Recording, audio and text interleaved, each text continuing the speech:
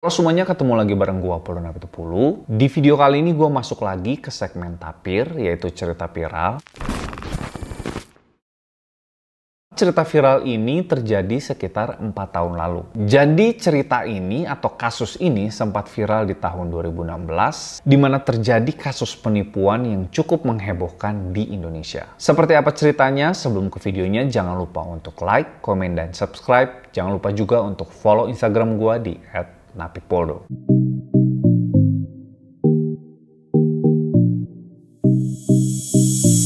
Punya banyak uang memang menjadi impian banyak orang karena banyak orang yang bekerja keras untuk bisa ngedapetin uang yang banyak. Tapi nggak sedikit orang yang rela berbuat nekat demi mendapatkan uang yang banyak. Karena bicara soal uang, siapa di antara kalian yang gak mau punya banyak uang? Karena gue yakin juga kalau banyak di antara kalian yang pengen atau berusaha untuk mendapatkan uang yang banyak. Karena uang adalah salah satu alat untuk kita memenuhi kebutuhan kita dan juga banyak dari sebagian dari kita menggunakan uang sebagai alat pemuas nafsu. Jadi memang gak salah juga kalau orang pengen punya uang yang banyak. Pernah nggak dari kalian yang mikir gimana caranya untuk dapetin uang secara instan? Karena memang banyak banget di luar sana cara yang bisa dilakukan untuk mendapatkan uang secara instan. Gue bakal cerita tentang kasus penipuan yang terjadi di tahun 2016 yang cukup menghebohkan di berbagai media di Indonesia ini. Jadi di akhir tahun 2016, Indonesia ini sempat dihebohkan dengan salah satu kasus penipuan yang berkedok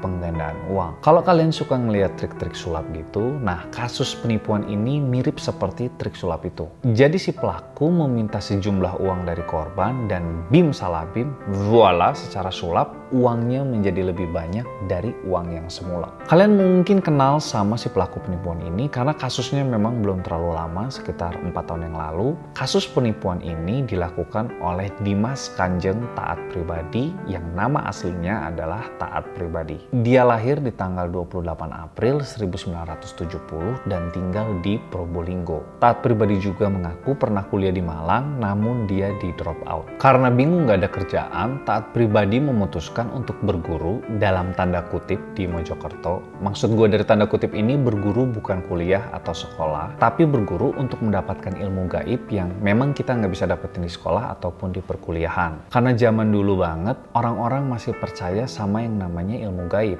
Jadi banyak orang yang masih pergi ke dukun untuk mendapatkan ilmu gitu. Nah jadi taat pribadi ini berguru untuk mendapatkan ilmu mendatangkan uang secara gaib. Dari gurunya lah yang bernama Kiai Abah Ilyas, taat pribadi mendapatkan ilmu untuk menggandakan uang. Waktu taat pribadi ini berguru, dia menikahi Rahma Hidayati pada tahun 1994.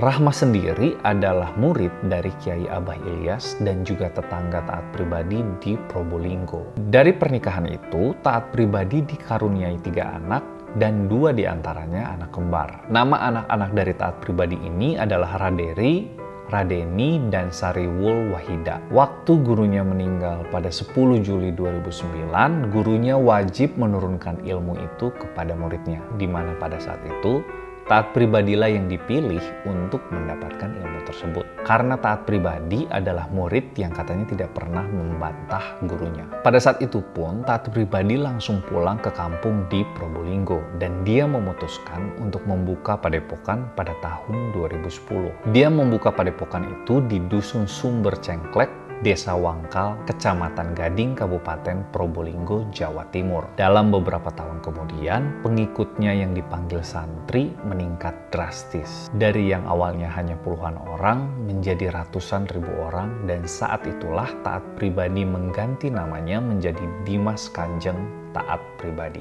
Nah dari para santri inilah Dimas Kanjeng mendapatkan kekayaannya. Para santri harus membayar mahar atau sejumlah uang yang akan digandakan oleh Dimas Kanjeng. Nggak tanggung-tanggung, Dimas Kanjeng menjanjikan uang atau mengembalikan uang mahar yang diberikan santri ini seribu kali lipat dari uang yang disetorkan. Jadi kalian bayangkan kalau kalian pada saat itu menyetorkan uang sebesar satu juta, maka Dimas Kanjeng berjanji untuk mengembalikan uang satu miliar rupiah. Coba kalian bayangin siapa orang yang pada saat itu nggak mau mau untuk mendapatkan uang secara instan. Gue pengen tahu kalau kalian ngedenger cerita ini, ada orang yang nawarin uang seribu kali lipat, kalian percaya apa enggak? Kalian tulis di kolom komentar. Karena tergiur dengan iming-iming yang diberikan oleh Dimas Kanjeng, maka para santri itu pun setuju untuk menggandakan uang di Dimas Kanjeng. Karena memang pada saat itu masih banyak sebagian dari masyarakat yang masih bersikap irasional. Jadi pada saat itu orang masih percaya dengan hal-hal gaib, sehingga mereka percaya sama Dimas Kanjeng. Selain menyetorkan mahar kepada Dimas Kanjeng, mereka pun harus mengikuti syarat nyeleneh dari Dimas Kanjeng. Jadi ada syarat-syarat aneh yang memang disyaratkan oleh Dimas Kanjeng supaya dipatuhi oleh para santri itu. Contohnya, para santri diharuskan berburu ayam hutan di Gunung Semeri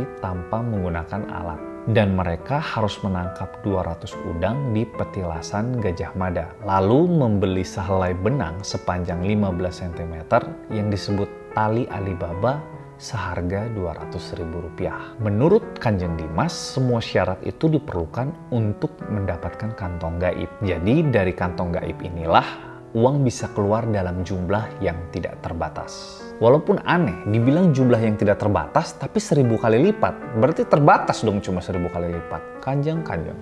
Dimas Kanjeng juga mewajibkan para santrinya untuk ikut pengajian pada Kamis malam di rumah para sultan. Pengajian itu bertujuan agar para santri menjadi sosok yang sabar, nerimo, dan ikhlas. Bicara soal sultannya Dimas Kanjeng, sultan ini berfungsi sebagai koordinator pengumpul mahar dari para santri. Jadi sultan ini yang mengumpulkan uang-uang dari para santri. Sultan yang dimiliki Dimas Kanjeng ini bernama Hidayah Ismail dan Abdul Ghani. Kebohongan-kebohongan yang diucapkan oleh para sultan ini sampai akhirnya mereka merasa capek karena selalu ditagih oleh para santri. Para santri yang banyak ini menagih uang yang telah dijanjikan para sultan. Uang yang akan digandakan ini tidak kunjung diterima para santri, bahkan uang mahar yang mereka setorkan tidak dikembalikan secara utuh. Nggak tanggung-tanggung, bahkan ada satu orang yang sampai tertipu sampai 1,2 miliar. Jadi kalau dikira-kira dia nyetor 1,2 miliar, dia berharap dapat 1.200 miliar, 1,2 triliun. Dan ternyata tidak sedikit orang yang tertipu sampai dengan ratusan juta rupiah. Karena uang mahar yang dikembalikan ini tidak utuh, maka si para santri ini mendesak para sultan.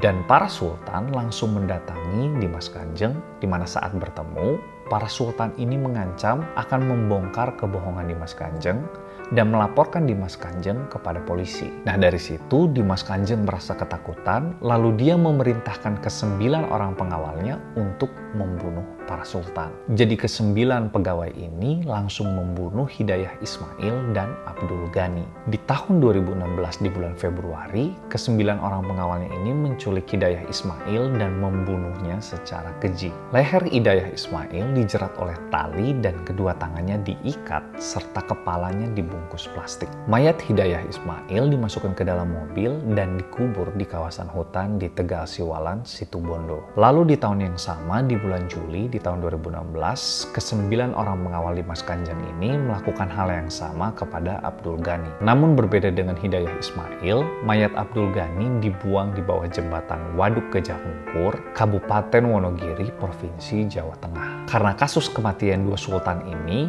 maka polisi menyimpulkan bahwa pelakunya adalah orang yang sama. Dari investigasi TKP dan jasad kedua korban, polisi langsung menangkap enam orang pengawal Dimas Kanjeng, di mana tiga orang pada saat itu masih buron. Nah, buat kalian yang tahu tentang update berita si tiga pengawal ini masih buron apa enggak, kalian tulis di kolom komentar. Dari hasil wawancara dengan tersangka, mereka mengaku telah membunuh korban atas perintah atasannya, yaitu Dimas Kanjeng. Mereka memberitahu atasannya merupakan pimpinan padepokan yang bernama Dimas Kanjeng. Polisi langsung mengunjungi padepokan dan menangkap Dimas Kanjeng. Dari situlah awal mula runtuhnya padepokan Dimas Kanjeng. Polisi langsung menginterogasi Dimas Kanjeng dan menyelidiki padepokannya. Dan dari hasil interogasi, Dimas Kanjeng mengaku sudah menyuruh pengawalnya untuk membunuh Hidayah Ismail dan Abdul Ghani. Dari hasil pengakuannya, polisi langsung menyelidiki dan siapa tahu ternyata dari kasus tersebut masih ada korban-korban lain. Dari penyelidikan padepokan tersebut, polisi menemukan banyak bunker dan polisi juga menemukan bank gaib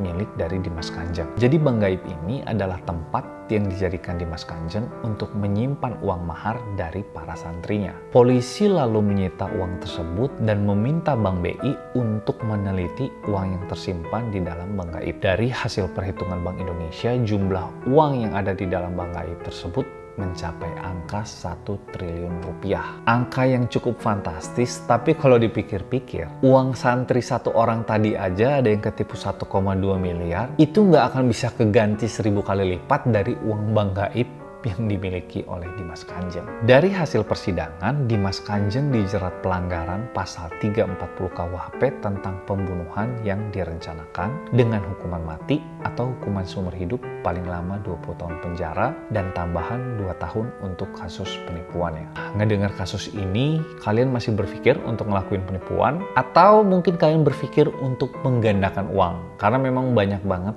tren-tren mendapatkan uang secara instan.